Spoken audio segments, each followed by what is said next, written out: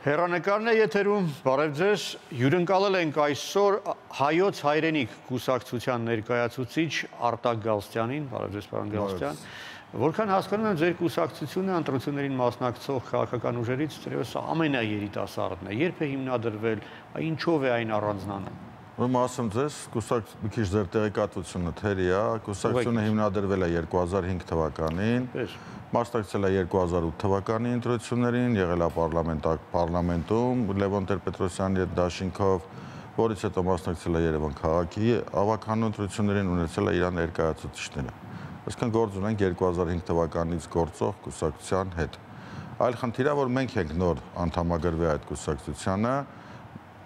ամբողջ կազմը գրեթե փոփոխված է։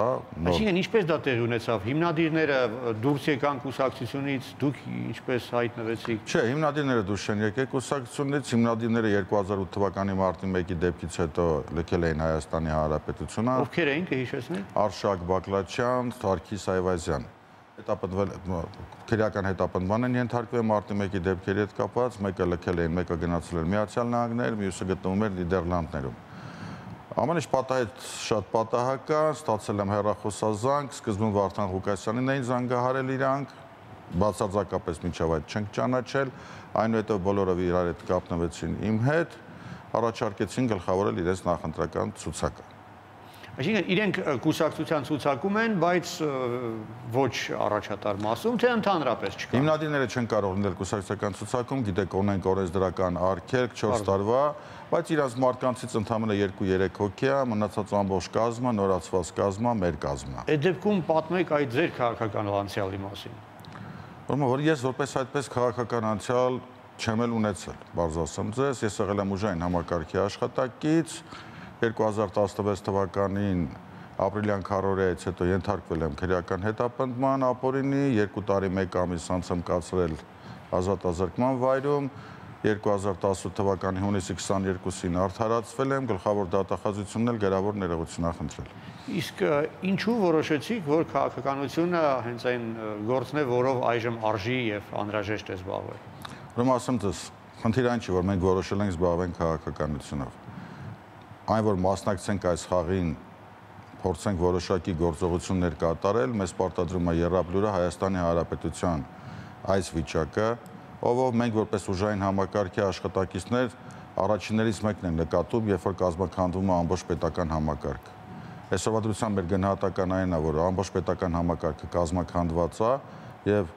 ավելի կոպիտ ասեմ, այս պահին վտանգի տակ են նաև հորս մորս գերեզմանները, ես չգիտեմ վաղը մի ամիս հետո կամ 6 ամիս հետո Շուշիի նախադեպի նման նրանց գերեզմանակարերը կդառնան ասֆալտապատ ճանապարհ, թե չեն դառնա։ Սա է ինձ ստիպել մտնել այս ամեն ինչի մեջ, հիմնական խթանը եղել է Եռաբլուրը։ Կարծում եք դուք ունեք այն ռեսուրսը, որը հնարավորություն կտա իրավիճակը Կարծում եմ ես ունեմ այն կամքը եւ արժեքային համակարգը, որ կարողանամ լուծել այդ խնդիրը։ Ձեր քաղաքական ուժի նախընտրական ծրագիրը ինչով է այդ սկզբունքորեն տարբերվում ընտրություններին մասնակցող մյուս քաղաքական ուժերի ծրագրերից։ Ասեմ ձեզ, հիմնականում ինչով է տարբերվում, մենք միակն ենք, որ ընդհանրապես չենք խոսում նոր նոր Հայաստանի մասին, մեզ բավականին ձեռը տալի հին Հայաստանը իր իր սահմաններով Սև լճերի 30%-ը նույնպես հայկական, Շուրնուխը նույնպես հայկական, Մեր շատերն են նույնը ասում, այդ իմաստով ինչ նոր բան եք ասում, ինչ չեն ասում ուրիշները։ Ինչու հենց ձեզ պետք է այդ ցուցակից փնտրեն այդ ձեր ընտրա այդ այդ քվեաթերթիկը եւ ձերը տնեն ծրարի մեջ։ Ուրեմն ինչ վերաբերում է դրան, կարծում եմ ոչ մի քաղաքական կուսակցություն դերևս այդպիսի հայտարարություն չի արել։ Բոլոր քաղաքական կուսակցությունները հայտարարում են, որ ինչ կա, կա այդպես էլ մնալու է, այլևս փոխել ոչինչ հնարավոր չի։ Մենք հայտարարում ենք, որ եւ Շուշին եւ Հադրութը եւ գոնե թե Արցախի տարածքային ամբողջականությունը, ինչպես նաեւ Հայաստանի Հանրապետության տարածքային ամբողջականությունը, անկախ նրանից թե այդ սարի վրա քանի ամիսա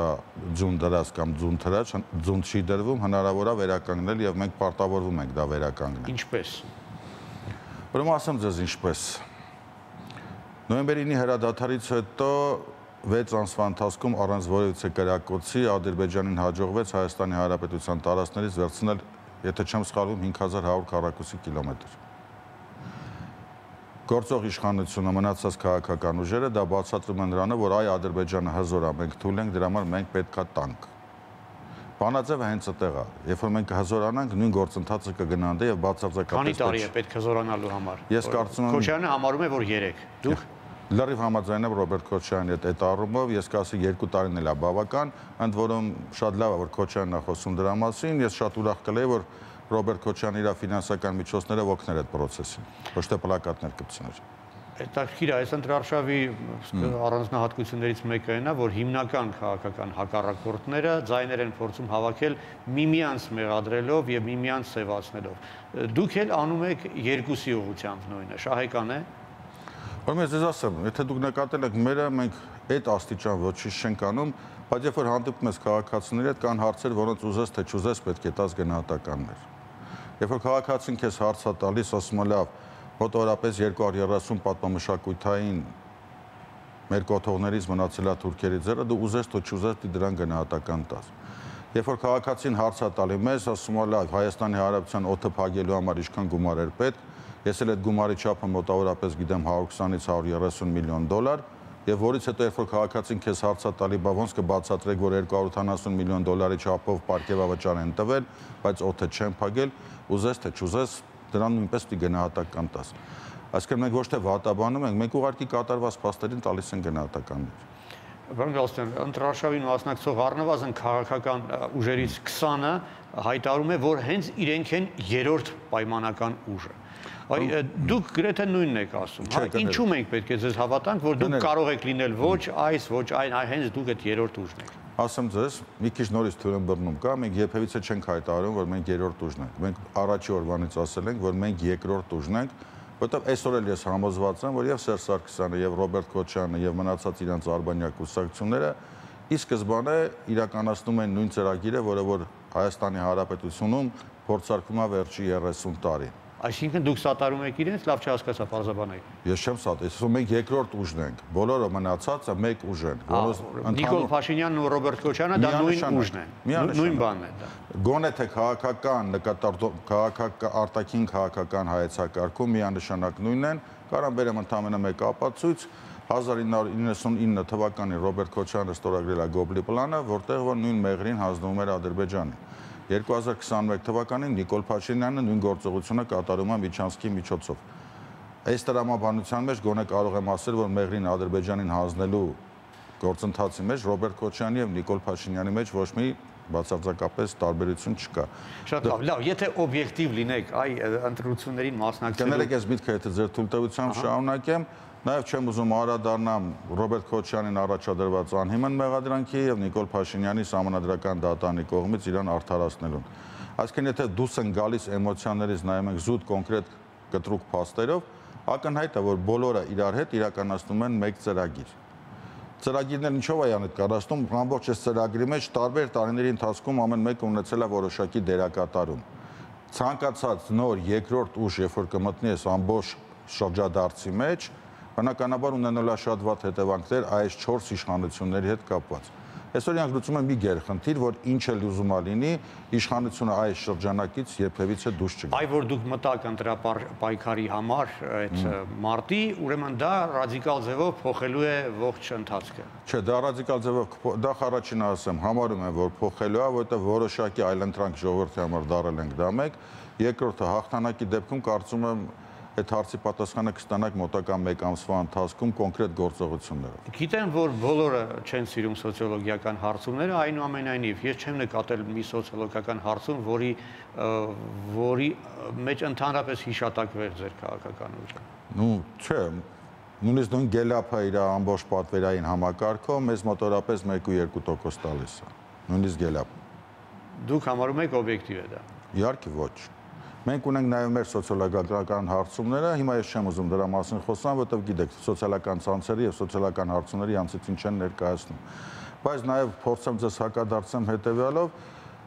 Երբ որ 2018 թվականին Նիկոլ Փաշինյանը քայլարշավ էր սկսել Գյումրիից եւ հասավ Երևան, իր հետ միասին ընդամենը մոտ 20 հոգի երիտասարդներ էին, ուղեկցում են մոտ 20 հոգի ոստիկան եւ եւս մի 20 հոգի ազգային անվտանգության ծառայությունից։ Մի շաբաթ հետո նա գրեթե 10 օր հետո վերցրեց իշխանությունը։ Օբյեկտիվ նպատակը ո՞րն է։ Դա անդամ այս պահին կա ամբիոն, որը օգտագործելու հնարավորությունը ձեզ հավելյալ հնարավորություն է տալիս, թե իսկապես կարծում եք, որ 5%-անոց այդ ընտրական արգելքը դա այն է, ինչ կարող եք հաղթահարել։ Ոչ, մենք գնում ենք հաղթանակի ինքնուրույն կառավարություն ենք ձևավորելու։ Կարծում եմ այո։ Կոալիցիա ձևավորելու անհրաժեշտություն չի լինի։ Կրկնում եմ, եթե ես ասեմ, որ ձևավորելու եմ կոալիցիա, կհակասեմ միջև այդ իմ ասածին, որովհետև կոալիցիա ձևակերպը ում հետ կազմեմ, մեղրին հանձնողների հետ, հաստատ չեմ ասում։ Էլ չկա դաշտում ուժ, որի հետ Չեմ կարծում, որովհետև մնացածը կիսված են կամ Նիկոլ Փաշինյանի Արբանյակ կուսակցություններն են կամ Ռոբերտ Քոչյանի Արբանյակ կուսակցություններն են։ Իսկ քննարկել եք նախընտրական կոալիցիա ձևավորելու միտքը։ Ուրեմն ասեմ ձեզ եղել են նման խոսակցություններ, հիմա անունները չտան, որ ոչ ոչ ոչ գովազդանեմ, ոչ էլ հակագովազդանեմ, բայց ընդհանուր կոնցեպտի շուրջ չեն կարողացել ընդհանուր եզրեր գտնենք, որտեղ ում հետ էր որ քննարկվել ենք, բոլորը կամ վարչապետի տեխնացուի սկզբանե առաջարկել են Նիկոլ Փաշինյանին, կամ վարչապետի տեխնացուի սկզբանե առաջարկել են Ռոբերտ Քոչյանին։ Հենց այս քննարկումների արդյունքով է որ ես այսօր կարողանում եմ 100% հավանականությամբ պնդեմ, որ քաղաքական դաշտում կա ընդամենը երկու ուժ։ Մենք ենք եւ Ռոբերտ Քոչարյան եւ մնացած ում գիտեք, բոլորը նույն նպատակի ծառայող ուժեր։ Իսկ այն մնացած 24-ը նույն նպատակի ծառայող ուժեր են։ Այսինքն ո՞ս կարելի է տարանջատել խոսքի Արամ Զավենի Սարգսյանին կամ Լևոն Շիրինյանի դաշինքը Նիկոլ Փաշինյանին կամ ինչպես կարելի է տարանջատել պատիվ ունեմը Ռոբերտ Քոչարյանից։ Լավ, իդեոլոգիայի մասին խոսենք։ Երբ կուսակցության հետ գործ ունենք, նախ հասկանում ենք, հա, աչակողմյան է, ցախակողմյան է, արևմտամետ է, ռուսամետ է, սոցիալիստական է, թե լիբերալ է, հա։ Ըստ կանոնադրությամբ եւ իր հայտարարած գաղափարախոսությամբ հայոց հայնի կուսակցությունը, այնպես ինչպես ստեղծվել է 2005 թվականին, ինքը եղել է ցախ պաշտպանողական կուսակցություն մենք նրա մեջ ներգրավելուց հետո բացարձակապես չենք արադարձել ոչ իր կանոնադրական դրույթներին ոչ նրան, այսինքն այս պահին կուսակցությունը զուտ եղել է գործիք, որ մենք կարողանանք դրանով մասնակցենք ընտրություններին։ Սա կուսակցության հետ կապված։ Ինչ վերաբերում է արևմտամետ եւ ռուսամետներին, ես բարձ ասեմ ձեզ, չեմ ուզում կրկնվեմ նույն ստանդարտ բառեր ասում են բոլորը, որ մենք հայամետ ենք։ Բայց միևնույն ժամանակ գիտակցում ենք, որ Հայաստանի Հանրապետությունը ամենայն դեպս մոտակա 50-ից 100 տարին ուզի թե չուզի որպես ռազմաքաղաքական դաշնակից պետք է հաշվի նստի Ռուսաստանի Դաշնության հետ մի པարզ պատճառով իդեպս բարերի հեղինակ եղել է Վանոս Իրադեղյանը դեռևս 94 թվականին, երբ որ նա ասում էր, որ անկախ Եվրոպայի գրավչությունից Անտանտայի նավերը Դիլիջանի ոլորանները չեն կարող բարձրանալ՝ ի տարբերություն ռուսական 11-րդ բանակի, այն ժամանակ Կարմիր։ Ռուսական VTR-ները կարող էին հասնել Արցախ ժամանակին, բայց չհասան։ Նույն ես հազար հարցին պատասխանեմ մեկ այլ կերպ բայց կարող են նաև ընդհանրապես չհասնել այնպես ինչպես 15 թվականին չհասան Անտանտայի նավերը։ Այսինքն հասան այն ժամանակ, երբ դա արդեն բխում էր իրեն շահերից։ Լավ, բա մեր շահը։ Հիմա այսօրվա դրությամբ եկեք հասկանանք այն ինչ որ մնացել է Արցախից եւ այն ինչ որ ուզում էին ամբողջովին տային մեր պետությունը, մեր իշխանությունները, իմ գոնե իմ համար բացարձակապես կասկածի տեղիք չի տալի այն հանգամանքը, որ իշխանությունները որոշել էին հանձնային ամբողջ Արցախը Անցնենք ուշացած Ռուսաստանի գալուց հետո այն ինչ որ մնացել է մեզ դա գոնե բավարար հիմքա որ մինիմում գոնե անշնորհակալ չգտնվենք չեմ ասում լինենք շնորհակալ բայց գոնե թե անշնորհակալ չգտնվենք հասկանում եք խնդիրը նենց է որ մենք այսօր մեղադրում ենք բժշկին որ ինքը դիցուկ եկել է 15 րոպե ուշացումով բայց այնուամենայնիվ փրկել է մարդու ձեռքը ամպուտացիայից հասկանում եմ այժմ մեզ բոլորին հուզող ակտուալ խնդիրների մասին խոսենք, այն մասին, թե ինչպես եք դուք այդ խնդիրները լուծելու։ Դե արդեն այդ մեղրի միջանցք կոչվածի մասին ասացիք, որ մերժում եք եւ բացառում եք, ճիշտ եմ հասկացել։ Ոչ միայն մերժում ենք եւ բացառում ենք, այլ նաեւ գեոպոլիտիկ շահերից նույնպես չի բխում այն հիստերիան, որ այսօրվա դրությամբ իշխանությունները տանում են մեղրի միջանցքի հետ կապված, փորձելով դա նույնականացնել Ռուսաստանի Դաշնության կարծիքի հետ, դա նույնպես իրականությանը չի համապատասխանում։ Առաջինը դա Բեղրի Միչանսկի մասին բացարձակապես ոչ մի խոսք չկա նոյեմբերի 9-ին ստորագրված պայմանագրի մեջ։ Այնտեղ միակ խոսքը, որ գնում է կոմունիկացիաների բացումն է, խոսքը վերաբերում է երկաթուղուն, որ այսօր ռուսական կոնցեսիայի տակ է։ Ռուսաստանի արտգործնախարարը ինքը միանգամից հայտարարեց, որ Մեղրի Միչանսկի բացումը դա Հայաստանի Հանրապետության վարչապետի անձնական նախաձեռնությունն է երկուս նույնիսկ տնտեսական առումով դա չի կարող ձեռ տալ Ռուսաստանին։ Եթե մոռանանք ամեն ինչը, ռուս-թուրքական հարաբերություններ եւ այլն եւ այլն, որտեղ ռուսա բանը երկաթուղին լինելով ռուսական, բնականաբար նրա շահույթը գալու է բեռնափոխադրումներից Տրամաբանական է, որ եթե Թուրքիան վաղը դա բացվելուց հետո Բեռներ փոխադրի Ադրբեջան, փոխադրելու է միայն երկաթուղով։ Ինչպես նաև տրամաբանական է, որ Միչանսկիդ բացվելու դեպքում իջնելու է երկաթուղու շրջանառությունը եւ բնականաբար Ռուսաստան ավելի քիչ գումար աշխատելու, այսինքն մեղադրել եւս մեկ անգամ Ռուսաստանին, որ Միչանսկի նախաձեռնությունը Իրանն է, դա նմանա մոտորապես նրան, որ որոշակի հասարակության խավեր Նիկոլ Փաշինյանին համեմատում են Հիսուսի հետ։ Անցնենք հաջորդ ակտուալ խնդրին, սահմանազատում, դեմարկացիա, խորհրդային սահմանները պետք է որպես հիմք ընդունվեն թե ոչ։ Կարծում եմ ոչ, բացատրեմ ինչի համար, նաև նայեք, Ադրբեջանի Հանրապետությունը 1991 թվականին հրճակել է իր անկախության մասը եթե չեմ սխալվում, օրը կոնկրետ չեմ հիշում։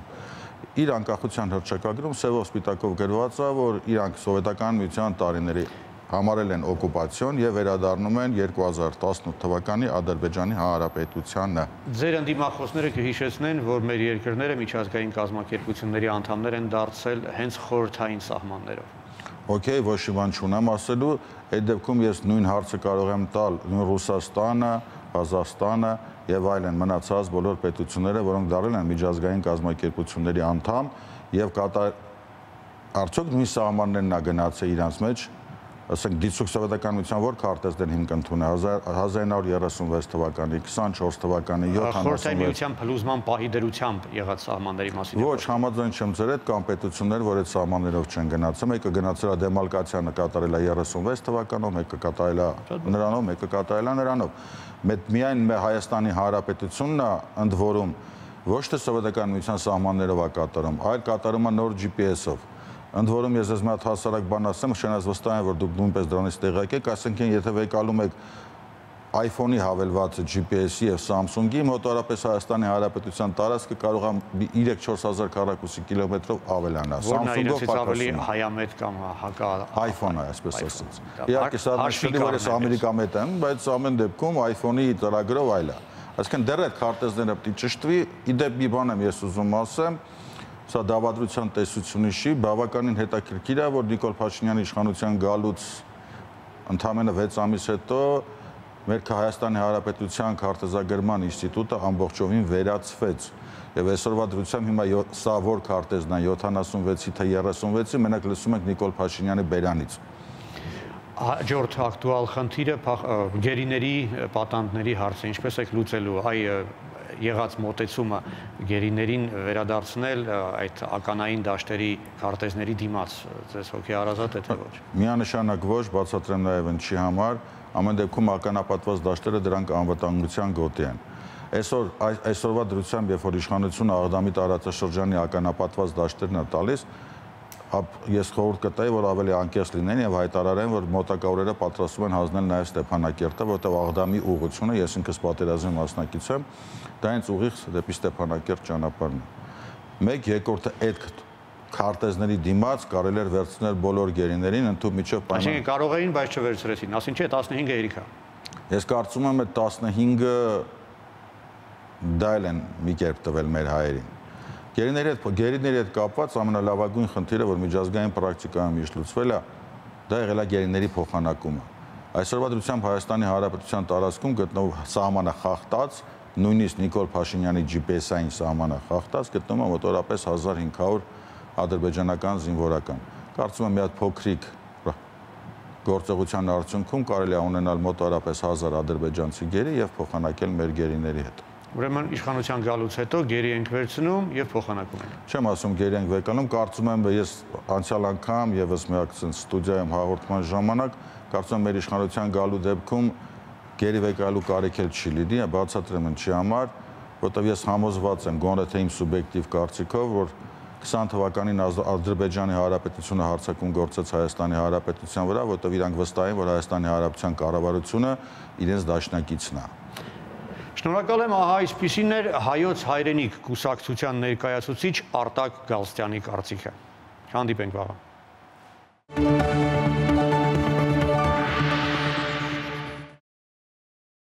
Շանտ Գյումրի հերոստանգերության եթերին կարող եք հետևել ցանցային օպերատորների հետևյալ կապուղիներով։ Ռոստելեկոմ 905-րդ ալիքով, Դելտա Տելեկոմ 48-րդ ալիքով, Տելեմաքս 2-րդ կամ 3-րդ ալիքներով, Օպտիկոմ 905-րդ ալիքով, Արփինետ 18-րդ ալիքով, Շիրակ Տելեկոմ 2-րդ ալիքով։